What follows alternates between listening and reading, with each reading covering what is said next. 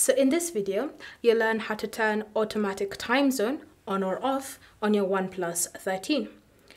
So the first step is to open the settings app and in settings, you want to scroll and select system and updates. From here, tap on date and time, and then you should see the option set time zone automatically.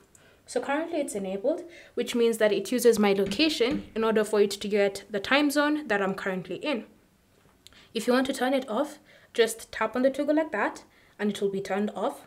Then from here, you can tap on time zone and you can use the search function or you can scroll through the different time zones that are available for you to choose from. So for example, if I choose Ankara, I can just tap on it like that and that will be my new time zone.